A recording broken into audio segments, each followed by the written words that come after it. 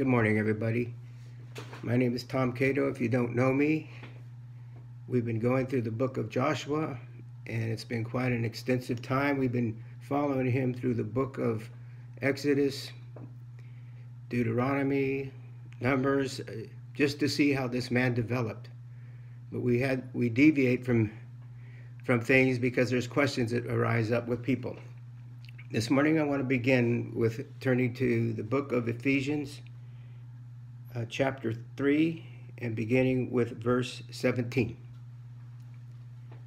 Ephesians chapter 3, beginning with verse 17. So that Christ may dwell in your hearts through faith, that you, being rooted and grounded in love, may be able to comprehend with all the saints what is the breadth and length and height and depth, and to know the love of Christ which surpasses knowledge, and that you may be filled up to the fullness of God. Now, this last expression, to be filled up with the fullness of God, I think it applies to a lot to what, what the book of Joshua is about. Joshua was told to take the Israelites into the land of Canaan, and for centuries God had reminded them of the land that he had given to Abraham and Isaac and Jacob and Moses. And now they're approaching the time to enter the land.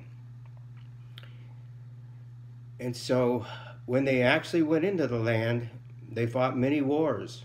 They conquered many enemies. But in the end result, they only really captured and took possession of about 10 to 12 percent of the land that God had promised them. And what caused this? Well, we got fat and happy with where we're at, and we didn't grow much. But the enemy was still there.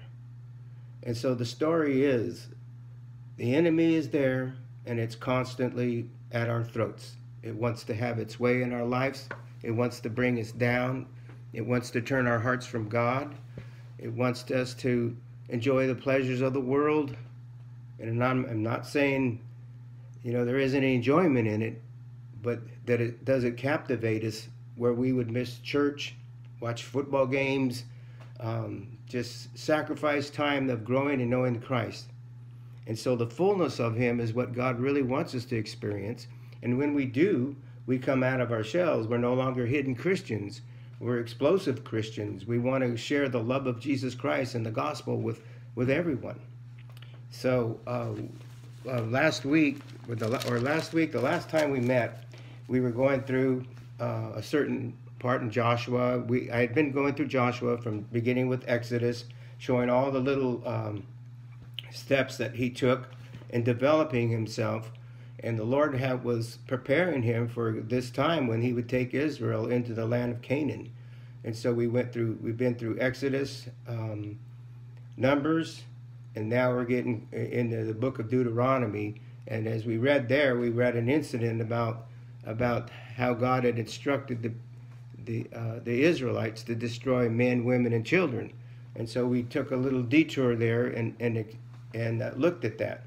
Now when uh, now the question has to be was god right in doing this? Was he just? Was he moral?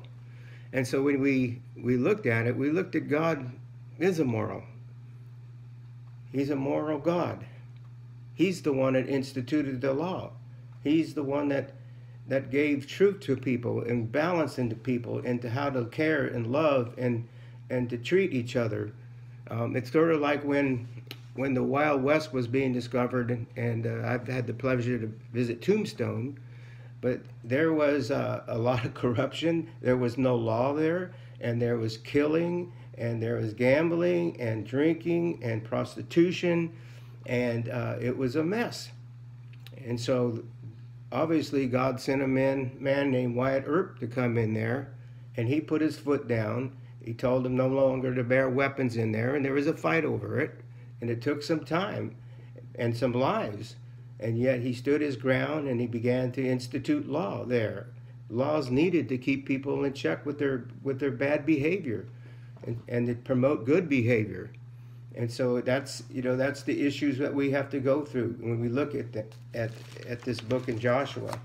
Um, and so um, I want to go to um, well let's just go back to back to the moral law of God. Um, so because because God instituted law, then we we know right from wrong. It's the only way that we have. Um, he brought the laws which were good for not only Israel, but for all the world. And the question was asked also is he just and righteous? And coming to Abraham, God was on his way to destroy Sodom and Gomorrah because their sins had risen up to him. They were terribly corrupt and immoral people, and so he was on the verge of, of, of destroying Sodom and Gomorrah. And so he, he comes across Abraham in the desert and he tells Abraham what he's going to do. Well, Abraham's cousin Lot, or nephew Lot, is there, and he knows he's there, and so he goes. So um, Abraham begins to negotiate with God, and he asked him, "Would you destroy it if there were fifty righteous men?" And God told him, "No, I would not destroy it if there was fifty. And then he goes down the line. Was, was there 45? What if there was 45? I will not destroy it. 30, I will not destroy it. 20, I will not destroy it. And finally, he got down to 10. And God said, I would not destroy it if there were 10. So obviously, there was less than 10. So God sent his angelic beings in to save saved Lot and, and, his family, and they he delivered them. But there were some situations that broke broke out with his family, and so God. One of the things you have to see about God, He's long suffering with us. He's patient with us, and thank God for that. Thank God that He's merciful, and so we we He um, delivers them from that. But then the question is, uh, I think that most people don't understand the holiness of God, and in uh, and and when God speaks to Moses in um, Exodus, he he tells Moses that he's not going to go into the promised land because when they were in the desert, he was he was asked to one time speak to the rock or, or strike the rock, and water came out to, give water to the Israelites while they're in, in the desert, the wilderness. The second time, he tells them to speak to the rock because the rock speaks of Jesus Christ. The first time the rock was struck by, by Moses, it spoke of God, God's judgment on him. He took, the, he took the judgment for us. The second time, he's alive. And so we only need to speak to him now. And so Mo Moses was angry with the group. He struck the rock, and and that changed a little bit of uh, Moses' plan of taking the people into Israel.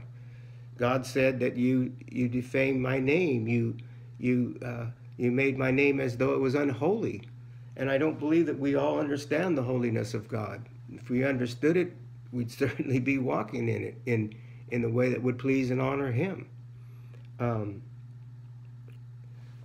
uh, the second thought is, this is God's world. He created it. He created to have relationship with man. In the in the, the Garden of Eden, when uh, Adam and Eve were there, um, he told them that they could eat of all the fruit of the, the land except this one tree in the center of the garden. He said that do not take of it, for the minute you eat of it, you'll die. Well, there was an enemy there and spoke to Eve and told her that God was just trying to uh, not allow them to become like him, wise in all his knowledge. And so um, she, they looked at the fruit and said, "Come on, you think God's to really going to have you die if you eat this fruit? Look at it; it's tasty." And so she took of it and ate, ate of it, and through her, and then Adam, of course, came along and had some sin into the world, and so we became corrupted at that time. We became self-centered and not thinking of God. And so in, in the garden, it was the beginning of light and darkness. It is when when Satan uh, fell from God, he became dark. He became God's uh, uh, enemy, and has worked in this world since that time. Um, the thing about God is He's sovereign. Again, this is His creation. He has expectations for us to behave in His creation. And we, the only way we can know it is through reading His Word. When we talk about God's sovereignty, that means He's He rules over everything. The outer space, the planets, Earth, and all the things that go on on the earth. I'd like to read what Paul said when he entered when he entered Athens and he had passed through looking at the different gods they had and he came across to uh, a, an inscription that said to the unknown God in Ephesians chapter 17, verse 23. Now I was going along and carefully looking at your objects of worship. I came to an altar with the inscriptions to the unknown God. God, who created the world and everything in it, since he is Lord of heaven and earth, does not dwell in temples made with hands, nor is he served by human hands as though he needed anything, because he who gives to all people life and breath and all things, he made for one man every nation of mankind to live on the face of the earth, having determined their appointed times and boundaries of their lands and territories. This was this was so that they would seek God and perhaps find that they might feel for him and find him, though he's not far from each one of us. For in him we live and move and exist, and it is him who actually has our being. And so God is really in control of, of every detail. He's ever chose. He chose our parents. He chose the place that we lived, and uh, and so he. Um, this is what his desire is. But now he commands that all people everywhere repent. This is to change the old way of thinking, to regret their past sins, to seek God's purpose for their lives, because he has set a day when he will judge the inhabited world in righteousness by a man whom he appointed and destined for that task. He has provided credible proof to everyone by raising him from the dead. And this man is the Lord Jesus Christ, who conquered sin, death, and judgment, and the grave. He's He's, he's risen. And, and um, so we, we have uh, the, the, thoughts too is, that God is long suffering with mankind. We have the, the incident with, uh, with Abraham. Uh,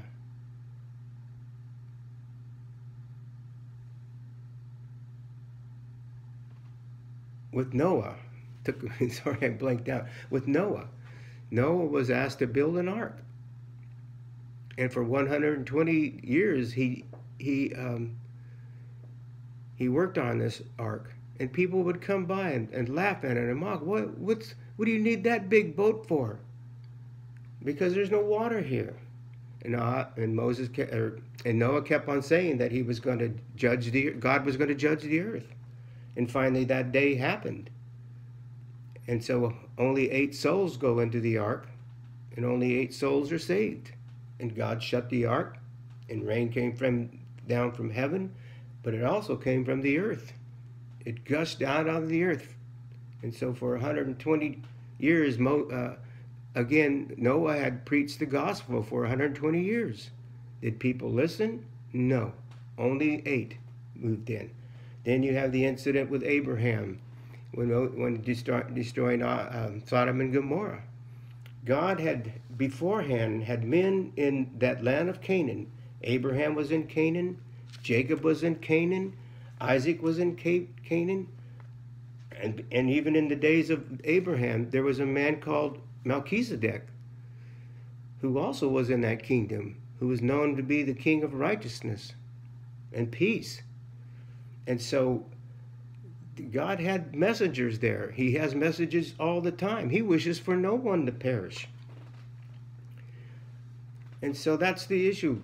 God will will make himself known to people throughout the world. Even today, we talked about it before in Iran, there is uh, there are people coming to know Jesus Christ in Iran because they don't like their government, their, their theocracy that they have, because it only takes care of the military and only the rich, the governmental rich, and they're left with nothing.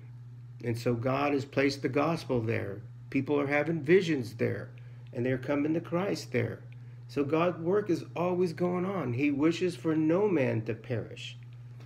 And so with with that, you know, God is a moral God. He's right. He is righteous in what he judges our, our men.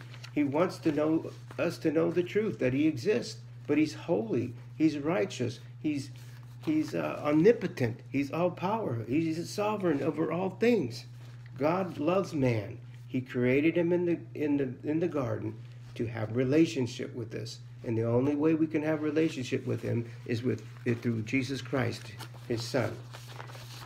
And so I want to I want to leave that now and go to the uh, let me find my notes.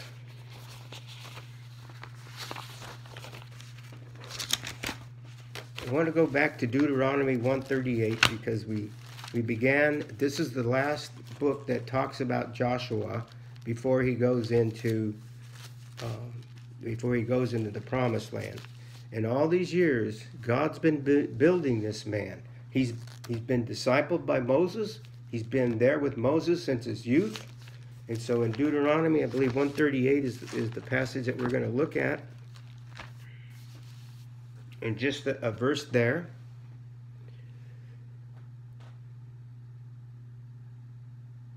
Joshua 138. Joshua the son of Nun, who stands before you, he shall enter there. Encourage him, for he shall cause Israel to inherit it. Now he's talking to Moses. Moses' job was to, to let him know that he wasn't going into the promised land. Moses knew he wasn't going into the promised land.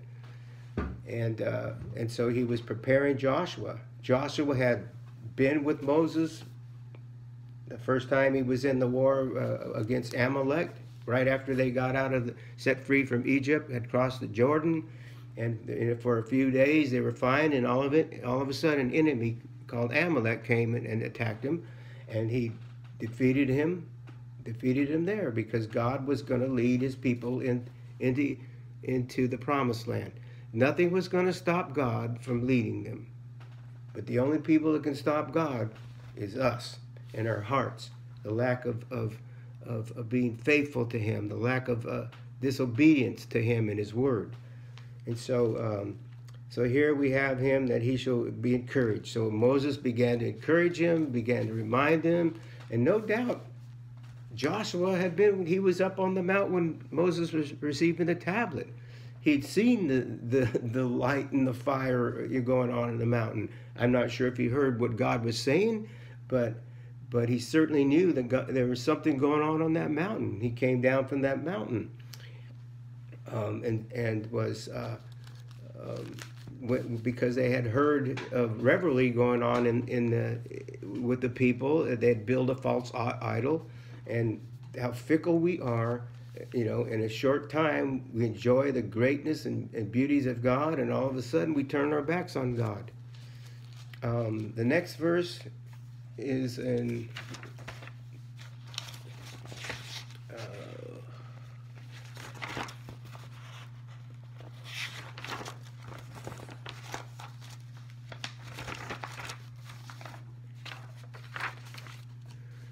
is verse, um,